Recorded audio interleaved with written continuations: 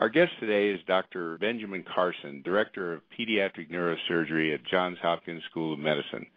In addition to being awarded 60 honorary doctorate degrees, he is the author of five best-selling books, including his current New York Times bestseller, America the Beautiful.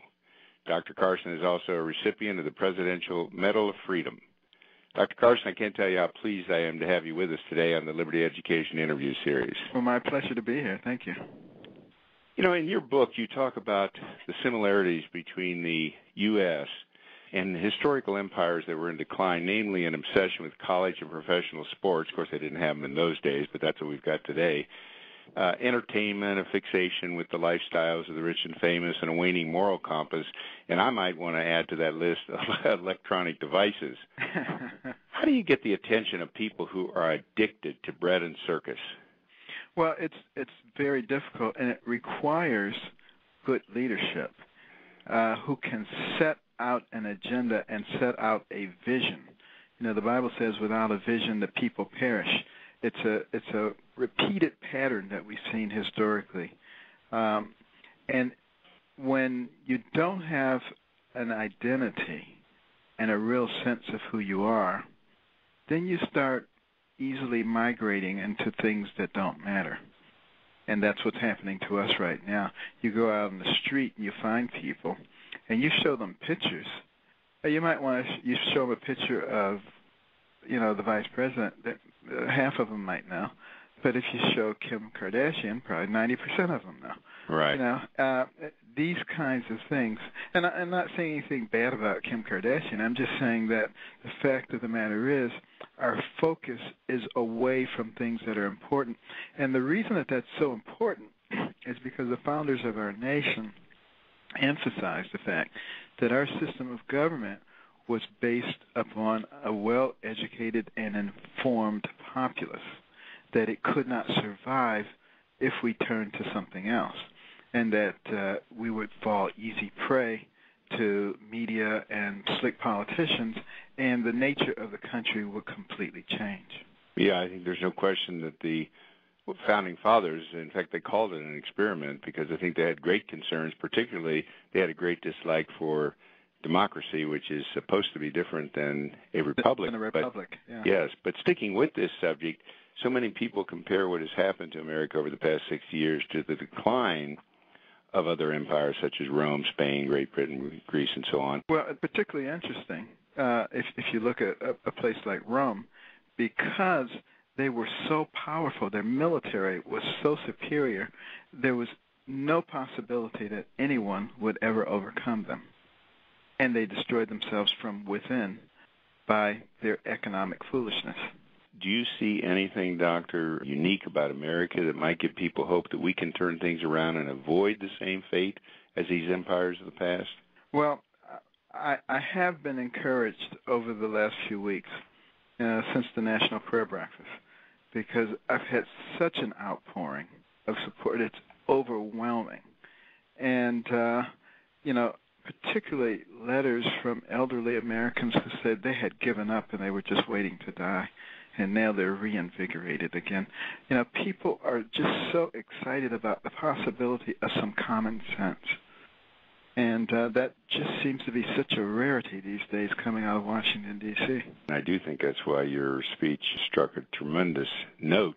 And speaking of elderly people, health care is an issue that you're certainly well qualified to opine on. And we live in an age where the left has not only transformed people's desires into needs, but further transformed those needs into rights. What do you say to people, many of them conservative Republicans, quite frankly, who, for example, insist that a commodity such as health care is a right? Well, first of all, it's a discussion that doesn't even need to occur in this country because we already spend more than $7,000 per capita per year on health care. The next closest country is about half that. So it's not that we haven't committed the resources to it uh, to give everybody superb health care.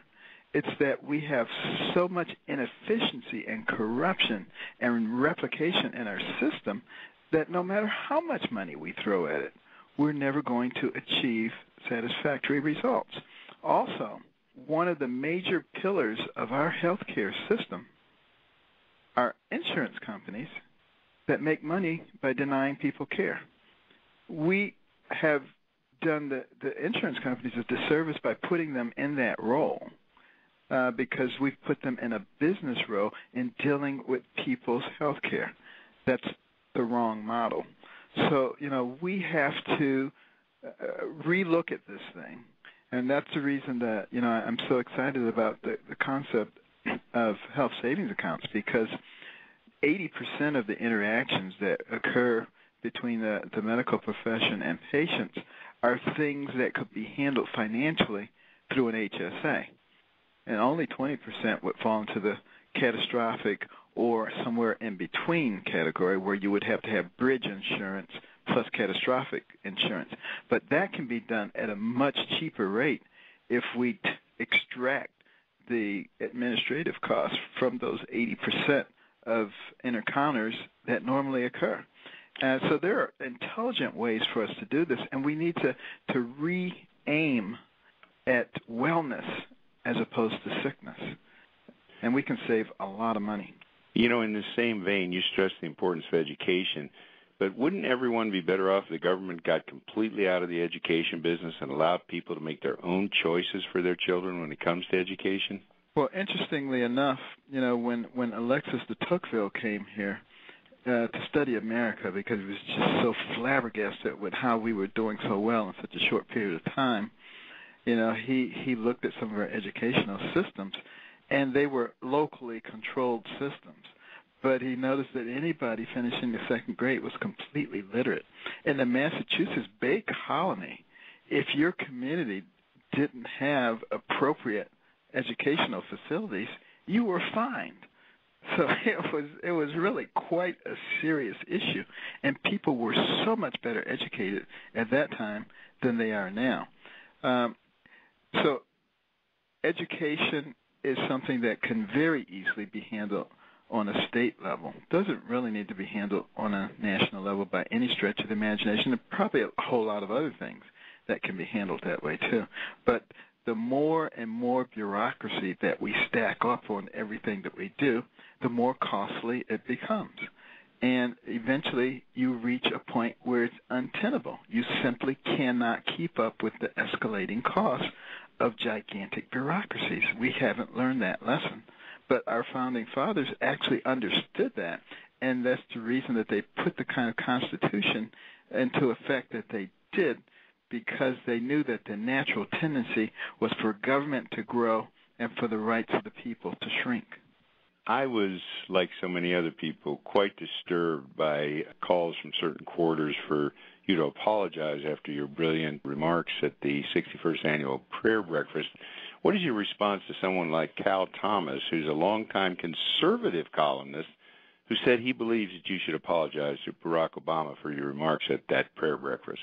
Well, he obviously got the memo. I, I, I never got the memo about us now being a monarchy in which you cannot uh, express your opinion. I didn't know. which, by the way, I thought was one of your best lines. so you know, every, every, everybody falls victim to you know P, the PC police and you know the feeling that they need to to go along to get along, but.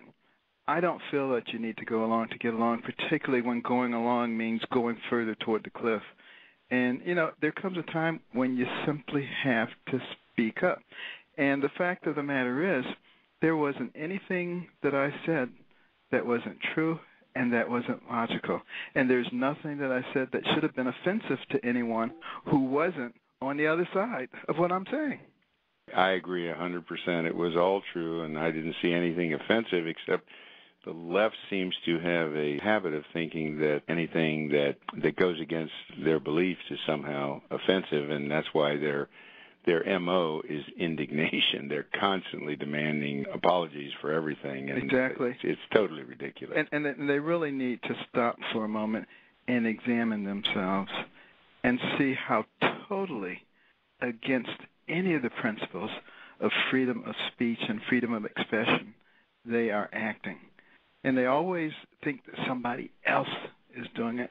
But sometimes it's good to actually look at yourself in the mirror in an objective way, and some people have a very difficult time doing that. You're the doctor, but I think that the psychological term is projection, I believe. Exactly. um, I thought your uh, comparing taxation to tithing, doctor, was really excellent. If, if you assume one believes that some form of taxation is morally valid, which, by the way, not everyone does, but right. that's another subject for another day.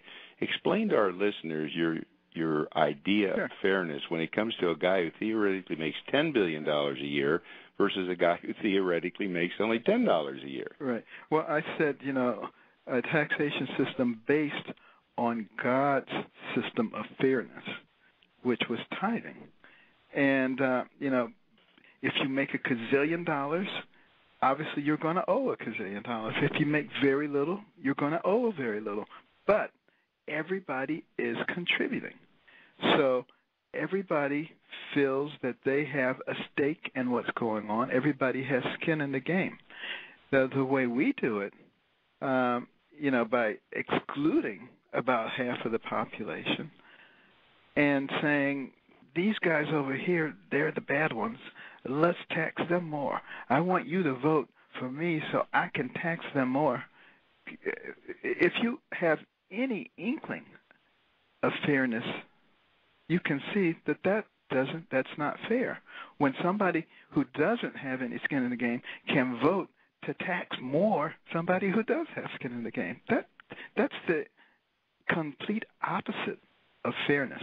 But also, if everybody has skin in the game, and this is what some people are very, very much afraid of, if everybody has skin in the game, it forces the government to be much more fiscally responsible.